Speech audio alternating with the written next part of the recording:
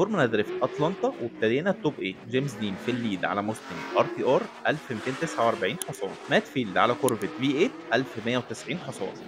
جيمس داخل بكل قوته لدرجة إن الكاوتش بيترفع من على الأرض. مات فيلد بيتأخر كتير في أول الجولة صعب جدا التعويض مع حد زي جيمس دايس على الآخر. جيمس داخل ال outside zone مظبوط ظهر العربية كله جوه الخط. تاني inside zone جيمس دين بيرسم ال track ومات فيلد بيحاول يدوس ويقرب. جيمس دايس والسموك في كل مكان line و style drift 10 على 10 angle كمان على الآخر. الجولة الثانية ومات فيلد في ال lead وجيمس دين في ال chase جيمس لو ركز وقرب في ال chase يخطف الجولة على طول. جيمس داخل عارف هو محتاج إيه؟ بص بيقرب منه إزاي ولازق فيه.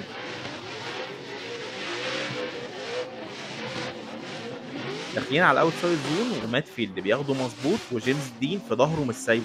inside zone و line مظبوط جدا. مات فيلد بيحاول يدوس ويبعد بس جيمس مستخدم كل power العربية. line drift مظبوط مخليه عامل جولة chase قوية جدا.